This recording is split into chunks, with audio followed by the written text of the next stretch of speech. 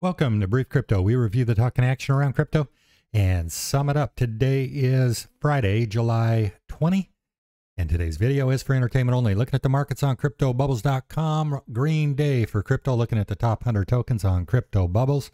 We have Chainlink up 19%, Synthetix up 7.5, Stellar up 4.5, Compound up 6.5, Maker Protocol up 3.6, Near up 3.3, Cosmos up 1.5. Polygon Matic up 2.7. Let's look by market cap.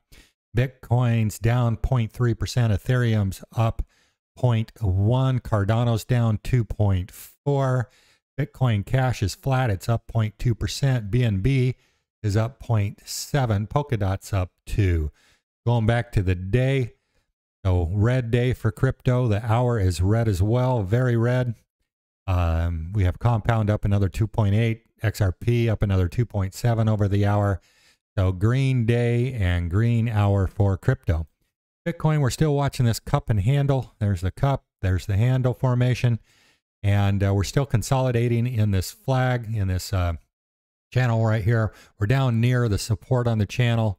Have been all day down around $30,000. We're currently at $29,912 for Bitcoin.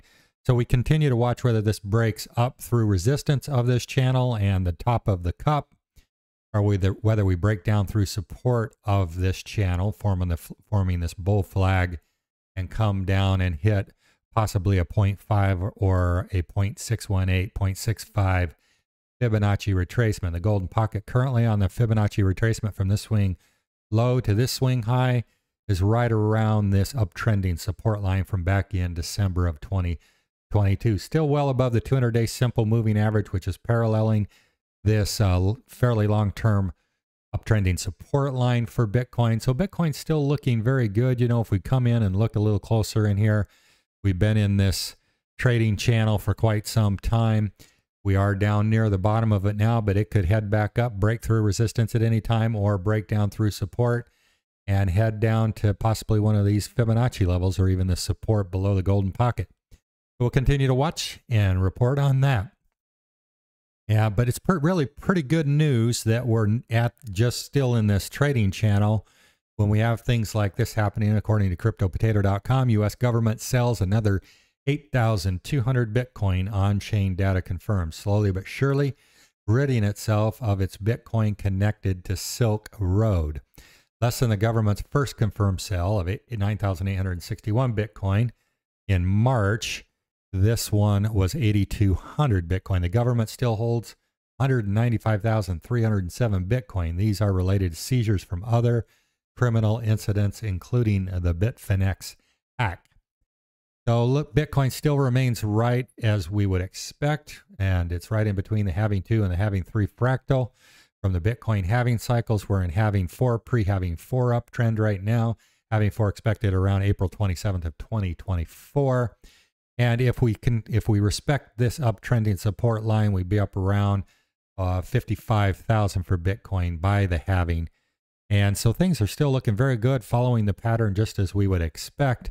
Uh, we do have the fourth week of a doji, fairly doji candle, three weeks of pretty decent doji candles for Bitcoin, and this little bit bigger body on this one we're in now that's going to close in three days and three hours.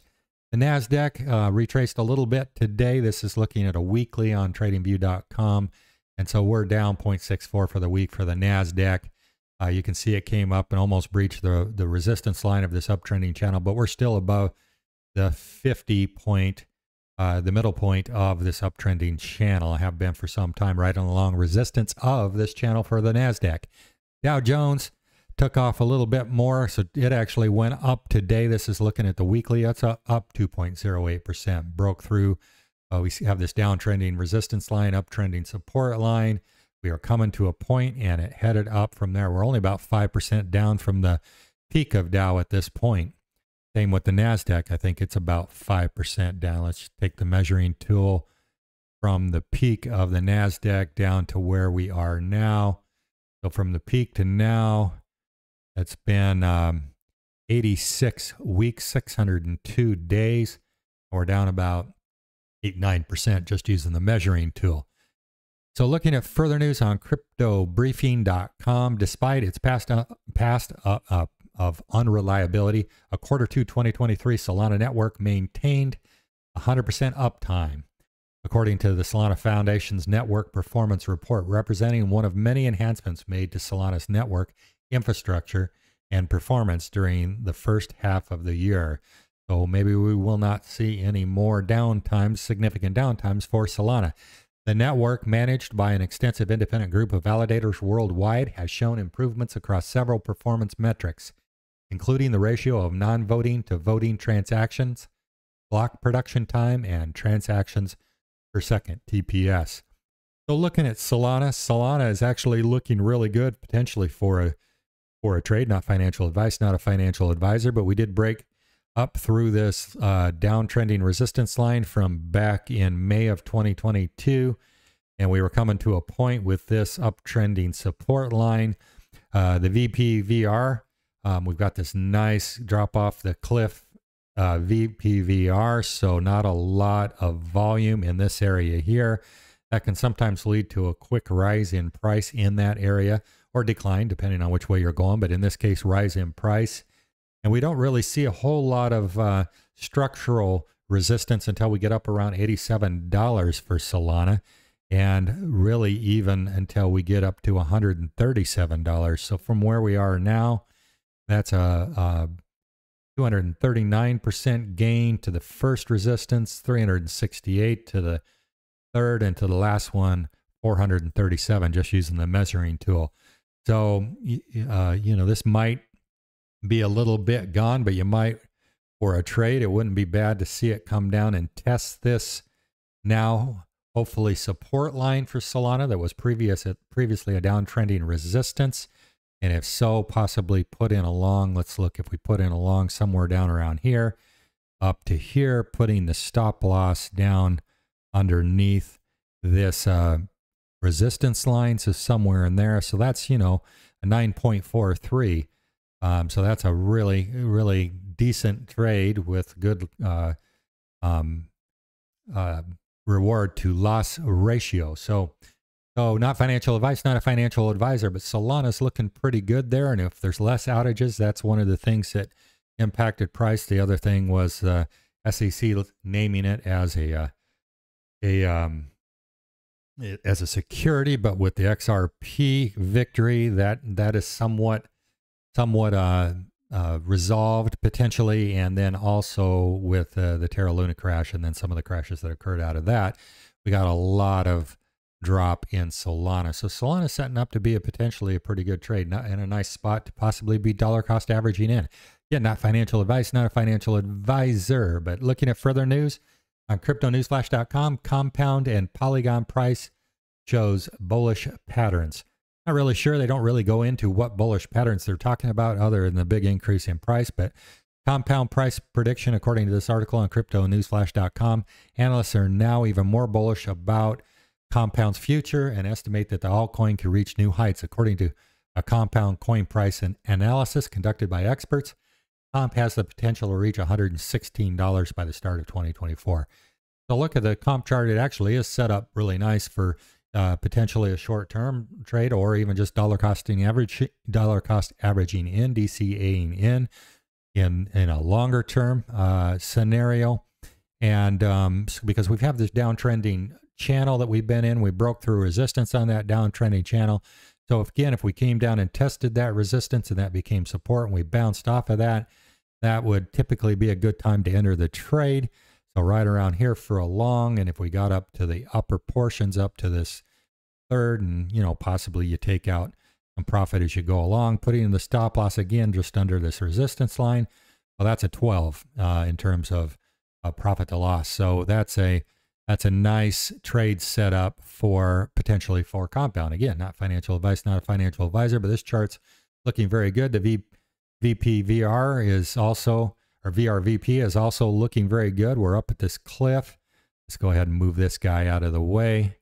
And you can see we're right up at this cliff coming down into this valley, and there's nothing up into these levels. So we've already gotten some of that move, but uh, it's looking pretty decent, especially if it comes back and and retests that previous resistance line on this downtrending channel. The other one they talk about in this article is Matic, Polygon Matic. Bullish patterns behind Polygon could indicate that another massive surge in value is expected, and some bullish analysts might even predict a price well above $1.20. So looking at the Polygon Matic chart, it's much messier than the compound. Compound's in this nice downtrending channel that is broke. Gives you a nice entry point and a nice stop loss. Matic, not so much. So um, you do have this uh, downtrending resistance, uptrending support. Not as nice of a valley in the VRVP. Um, uh, it's below the 200 weeks uh, or 200 day simple moving average, whereas compound is above. And a lot of times we get that price surge. But Matic, you know, this could be an early point to get in on Matic. I suppose it came down and retested the support and bounce. That may be a good time to put in something there. Um, that would be one way to do it to keep your stop loss at a reasonable level. And, you know, if you put it back up in around uh, the downtrending resistance and you put your stop loss in right down below the support, something like that, you know, then you have a 13.18. So that's a nice potential trade setup. I don't think it looks as nice as the compound, but this isn't a trading channel. We're just going over uh, this article. So uh, again, not financial advice, not a financial advisor, but Polygon, you know, definitely uh, definitely looks like it's a or it, it's looking like from the charts that it's in a good time to dollar cost average in for the long term, potentially for a good setup for a, a short term trade. Uh, we're going to be looking at Grayscale. We haven't looked at Grayscale in a while, crypto-related investment instruments. So, so we want to look at the Solana Trust because it's kind of the oddball in terms of trading at a premium. You can see that up here in the gray line, that's market price per share. And the green line is the holdings per share. So 37 to buy it, and you get $9.74 worth of holdings of Solana in the trust. So it's trading at a significant premium.